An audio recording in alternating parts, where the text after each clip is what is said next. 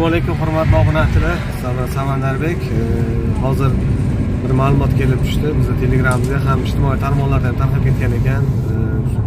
Angor tumanida metanda portlash bo'lgan. Haqiqatdan ham e, o'sha bitta matiz rusumli mashina portlagan. Mana shu videoni ko'rishingiz mumkin. Men hammani ogohlantirib qo'ymoqchiman. Mana yoz e, yoz kelyapti. Уже давлениялар kuchli bo'ladi. O'shaning uchun kamroq kamroq kamroq o'ttiz ming qirq mingga yigirma mingga olsangiz ham bo'ladi. Hozir hamma joyda slobodda bo'lib qoldi. E, undan tashqari bilsalaringiz e, gaz tanqisligiga boshlanganda ko'p moshinalarda xabaringiz bor. Hammani e, moshin metanni propan qilgan insonlar borda. O'sha video bularga ham yetib borish kerak. Sababi qachondir o'sha defekt beradida qayerdandir nimadir bo'ladi. O'shaning uchun ehtiyot bo'lingizlar hurmatli obunachilar. Mana shu metanni propan qilgan akalarga jo'natib qo'yasizlar ogohlantirib qo'yasizlar.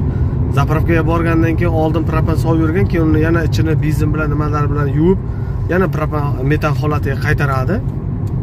O'shanda holatga qaytargan payti e, o'shanda defekt bo'lishi mumkinda qandaydir zarar yetkazadi o'shaning uchun e, iloji boricha o'sha oldin propan qilgan balonlaringizni iloji boricha almashtirib yuborsalaringiz ham maqsadga muvofiq bo'ladi. Sababi ertaga qayerdadir sizga shu pand berib qoladi hurmatli obunachilar o'sha metanni propan qilgan akalarga jo'natib qo'yasizlar men hammani ogohlantirib qo'yyapman sababi bitta insonni mulki u yerda parchalanib ketdi endi hozir u yerda surishtiruv ishlari olib borilyapti ayb kimda bo'lsa o'sha tomon yoki matisni xarajatlarni qoplab beradi yoki metan haq bo'lsa matisga hech qanaqa xarajatlar qoplab berilmaydi o'shaning uchun biz sizlarni ogohlantirib mana shu videoni qo'yishimizdan maqsad ogohlantirish maqsadida o'shani qo'yyapman to'g'ri tushunasiz degan umiddaman. Videoni tarqatib yuboringizlar layk bosib kanalga obuna bo'lishni unutmaysizlar rahmat sog' bo'linglar